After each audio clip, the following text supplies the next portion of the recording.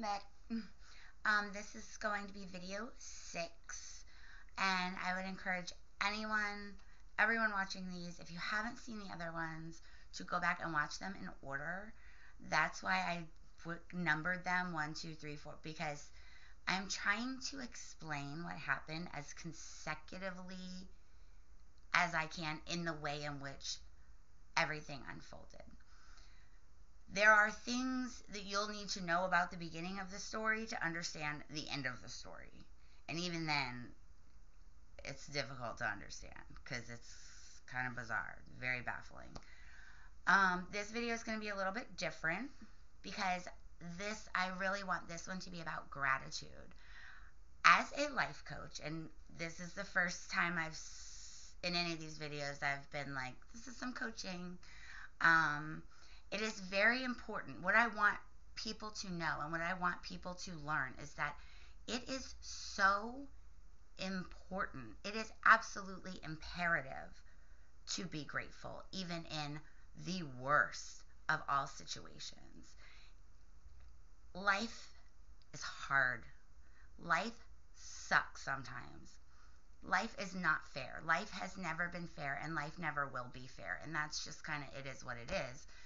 Um, and my advice to anyone who is in a very dark place or has the whole world stacked against them is to find anything positive, anything that brings you joy, anything that brings you warmth, anything that you can find beauty in, even if it's only a tiny sliver in a whole ocean of sadness. You have to find it. In order to find it, you're probably going to have to look for it because regardless the reality is that regardless of the situation that you or anyone else is in there is going to be positives and negatives. And as a coach i'm telling you that if you reflect on your past and you only point out the negative which you can i mean you could do that if you want to if that's what you want to focus on all of the sadness, all of the pain that's happened to you. You're going to look for everything negative in every situation. You'll find it. You're going to find it. You'll find exactly what you're looking for. So, even though something good may be hidden amongst just crazy insanity and the most difficult hardships, you need to find it. You need to find it and hold on to it. Guard it with a pitch fork. Good, positive, um, comforting people and integrity amongst chaos is difficult to find. It's not just going to pop out at you. You have to look for it. Look for it, hang on to it. Don't discount the positive. Even if everything sucks, there's going to be something there that you have to find for yourself. You have to. No, nobody can do that for you. So this video is going to be more about gratitude. And I want to say some good things about other people, other groups that were victims of circumstances well. In my opinion, the fact that they were brought into any of this because they did do their job. They did work with integrity you're going to hear me say a lot that the courts failed me, and the courts did fail me, but it wasn't everyone in the court that failed me. It was the system as a whole. It doesn't matter what system we make if it's a system run by human beings who are inherently flawed and make mistakes, then there is no perfect system. And that's true with everything. So, three one person in particular and two groups of people, I just want to say, you're amazing. Thank you. I see you. I appreciate you. Um, and I'm just going to hop right into that now. The first person is the judge who was overruling my custody case. I don't know her name. Um, and even if I did, I don't know, but it's going to be very clear that I have this huge campaign against CPS. I have this huge campaign about the injustices that were done to my children throughout my custody situation. That's going to become blatantly clear. And now you're going to hear me say nobody did their job. And that's me speaking from emotion because there were people who were involved just just by going to work that day. Um, and the judge is definitely one of those people. The judge did not rule against me, first of all. The judge was always respectful of me and, and the entire situation. She handled everything, everything with grace and tact. Um, I do think, I do it, I do believe in my heart that that judge was genuinely um, trying to look out for the well-being of my children. And as a mother, I appreciate that beyond measure because nobody else was in that courtroom. I just, I really want to say um, just thank you to that judge. I don't ever want her to be um, brought into any of this as a way that she did anything wrong because she didn't. It was never her job to do these investigations. It was never, she's not a lawyer. She's not a CPS caseworker. She's a judge. It's her job to look at the information that has been presented to her in legal documents and be able to trust that the people working within the courts are telling the truth. And she did not have that luxury during this trial.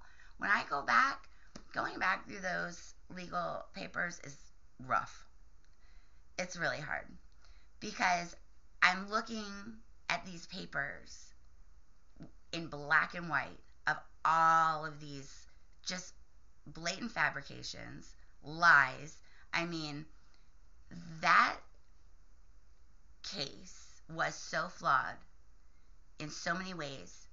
It had nothing to do with her. She would have, that judge would have had no way of knowing that the other people were being dishonest. My lawyer didn't do anything to stick up and say, hey, this isn't right. Why are we not questioning this? Which she should have, because there were many, many different discrepancies where you're like, when I'm reading it and I'm just like, are you kidding? There are parts in those legal papers that they don't even have my name right. It's a totally different last name. And that's going to come up too. Um, in the next video when I talk about the annulment, I just don't ever want that judge, I don't want any of the nastiness that this case is about to shine light on. I don't want it to shine onto her because she didn't do anything wrong. She didn't. I'm not out here throwing people under the bus just because I'm pissed off that I can't see my kids for two years. I'm out here telling the truth. I'm out here telling exactly what happened. And also, I think it's important to be able to tell that story in its entirety. We do need to acknowledge and sing the praises of the people who were working with integrity, who were not culpable for any of this, any of this. That judge would have had no way of knowing. Eh, like, she would have had no way. She didn't know. She didn't know me personally. All she knew was what was written in the documents. And the way our system's set up, she should have been able to trust that the things that she were reading, that she was reading, were true. And they weren't. And that's not her fault. That's not that judge's job to do these investigations. That's why we have lawyers. That's why we have CPS. That's their job. So the judge, was she was a woman. I I don't remember her name. Um, but she didn't, I don't ever want any of this to come back on her because she did not do anything wrong. She did her job and she was working with faulty intel and she didn't know that. And to be fair, she should have been able to trust that the court appointed people that were working for the courts were telling the truth. She should have been tr- she should have been able to trust that nobody was perjuring themselves in those documents. And unfortunately, that was not something that was provided for her. She wasn't provided with any fact there was there was no there was no nothing. Like she there's no she wouldn't have known. When i look at those papers even though she didn't necessarily make the ruling i was coerced into signing my children over by my my court appointed attorney. Um, so even though she didn't make that ruling um, even if she had, I would understand that looking at those papers. I would probably make the same ruling, you know, because what's written in court documents about me versus the reality of who I am is, and what I've done is night and day. It's not the same. So I just wanted to say that. Very grateful for her. She did nothing wrong. She was very respectful of me. She was actually one of the only people who even acknowledged me when I spoke when I was there. And the and the one time that I did get to speak, which is at the which was the very last case, like the very last trial date, was the only time I was allowed to ever say anything because of my lawyer, lawyer. Um, and my question was, without permission from my lawyer, because she had already messed everything up, I stood up and I said, Can I ask the courts why I'm losing custody of my children? And the judge was taken aback because that shouldn't have been a question that I should have ever had to ask. And she said, um, so, and she, but she was very nice to me. She wasn't like mean or snotty. She was, it was very um, polite and proper. And she referenced the parental capacity um, evaluation, which we will get to that too, because Dr. Tuesday Smith has some explaining to do. Someone needs to check on this doctor's uh, medical board's credentials because, no, we'll get to that too. Um, the next group of people that I wanted to sing my praises to are the Virginia Beach Police Department. When you and I didn't, and I never thought about this before it happened to me. But when you're made homeless, okay, if you are living in your vehicle, which I was, I was living in my pickup truck for a little bit because of the annulment that was unfairly granted. That was a totally different judge, a different judge in the annulment than what was in the custody case. Two completely different people. They like they weren't those two didn't overlap. But when you live in your vehicle your home and police officers' office work completely overlap each other. Okay, you're basically sleeping at these people's job. So, and it's their job to protect our city, to protect the surroundings. So, even though, well, first of all, I don't every all every interaction that I had with every member of law enforcement was, I mean, it, I don't want to say it was great because no interaction with law enforcement is welcomed. Usually that's not something that we strive for. But they were all so nice. Like they were all so kind to me. They, I felt protected. I didn't feel, um, I didn't feel targeted by any of VBPD. I felt protected by them, even though I was in a situation that wasn't very safe by living outside. They were always kind to me. Um, I have more body cam footage coming that will show that they were always very respectful of me. I mean, there was times when they could have been dicks, and they weren't. They weren't. I have nothing but good things to say about the fine men and women who are protecting our streets here in Virginia Beach right now. I was homeless. And I mean, I don't know. I was just really impressed. I with all the false police reports by Chris and the false uh, the restraining order that was obtained on incredibly false pretenses, which we'll go over that in a very in a future video as well, which will be upcoming. Um, they were great. The police, they were great. I don't have anything. I mean,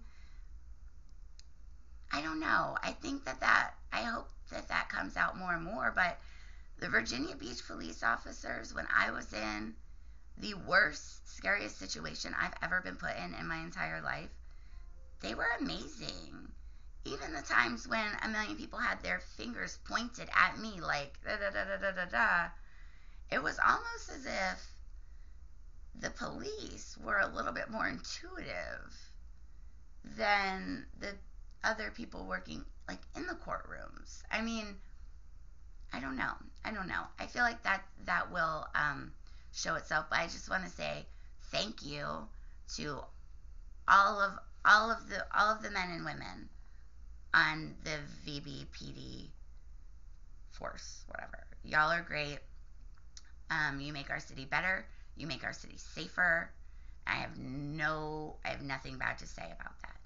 And the third group of people that I want to really just shine a beautiful light on is the people working within Beach Psych and the people working within the mental health care system. And the reason I'm bringing this up is because in the video, which I think was video number two, about how Jennifer and Chris went to the magistrate, made up all this stuff, tried to have me um, like committed.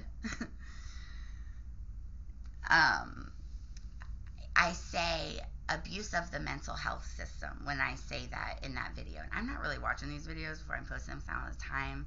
It's hard enough just to make them. So you're just, you guys are getting whatever comes out. Um, but I did go back and look at that one, and I said abuse of the mental health system. And I want to clarify I did not mean that I was abused by the mental health system. That is not what happened, not even close. What I meant when I said that was other people were abusing the mental health system to hurt me.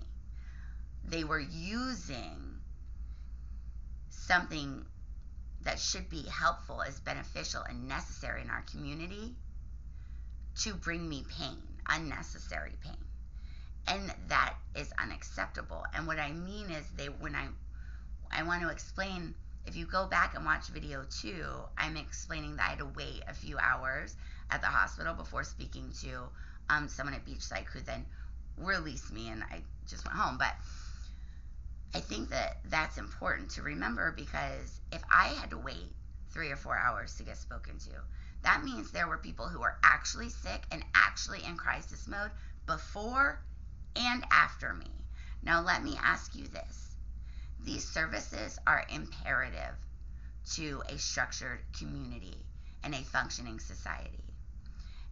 And if you've ever been in a situation where you feel like you're in crisis or or or maybe you have a child that you feel like is in crisis and needs medical attention right then, it's pretty fucked up that you might have to wait, your child might have to wait for needed medical services and attention because we have other people trying to weaponize our mental health system for control, for spite, just to be nasty.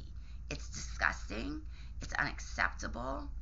But as far as how I was treated when I, in that short time and what I've experienced pretty much forever is I was not abused by the mental health system. What I meant was they were abusing the mental health system to hurt me. And that's not okay. That is not okay. Um, but the people who are working in those facilities, I'm not saying that anything like they actually did their job. I am so grateful for that doctor's due diligence and talking with me for so long during that interview before he released me to go home because we need that. We need that due diligence. He was he worked with integrity. He did his job. I feel like I could get these medical records and they would prove all of this. Um, but the fact that even he was lied to, he was a victim of circumstance in this situation because he had to get he had to get through, you know, help me or figure out what's going on me before he could help someone who was actually suffering. It's just gross. It's it's exploitative. It's manipulative. It's corrupt. And when you start weaponizing people's mental health against them, anyways, all of this, all of the lack of stigma that we've been fighting so hard for goes away. Because the stigma doesn't matter anymore. If someone's about to be, you know, detained against their will because someone else thinks, I don't know, it's anyways, this doesn't this isn't meant to be bashing. This is meant to be a good positive video. I just want to point out there were people who did their job. There were people who were victims of circumstance just as much as I was. And I just really want to point out the judge in my custody situation. She did nothing wrong. She worked with integrity. I think she is very smart. I think um, she the rest of the machine wasn't working, it wouldn't have been possible for her to even notice or like step in and be like, something's not right here because of how many other parts were broken. You know what I mean? I don't know if that makes sense, but the judge, she was amazing. Um, I have nothing but respect for the judge that worked in my custody case, even though it did not work out in my favor because that wasn't her fault. It just wasn't. Um, the police, thank you for your service. Thank you for keeping your eyes open. Thank you for being objective. Um, I just, once again, I don't have enough nice things to say about the Virginia Beach Police Department. Um, and, and, and the doctors, you know, and nurses that work in, in our psych facilities. It's sad to work with, I mean, it's not sad, but it's unfortunate that we are relying on these other people's integrity, but we can't rely on the lawyer's integrity, CPS integrity. That it takes a doctor whose job is not to enforce any laws, his job is to treat medical conditions, to step up and be like, mm, wait a minute. Like that's not that's not how it should be. But I'm very grateful for them. Very grateful for all of you who have sent me and are continuing to send me the kindest of words. I I mean, I can't express how much gratitude I have. You guys keep me going. My life coaching advice to you is even when shit sucks, find something good and hang on to it with your life. Hold on to it with your life. Thank you, everybody, again. Um, this is going to be, so this is video six. Uh, the next one will actually be about the annulment. Um, I also have a GoFundMe under a courthouse kidnapping for legal fees and backed up medical bills since Jonathan Brown at CPS Social Services has made a point to be sure that I cannot receive any Medicaid or any kind of um, benefits whatsoever, even though I'm. We'll get to that too. But thank you, thank you all. Um, and I just appreciate you, and I want you to appreciate the people around you, the people around you who deserve your appreciation. Um, it's important. It's important in life. If you only look for the negative, I mean, yeah, you can live your life like that if you want, just look for the negative, but you're going to be miserable forever because there's always negative. But likewise, there's also always some positive too. You and it's your job to find that. Um, so just thank you for watching, and hopefully the next one will be tonight. Thank you guys so much.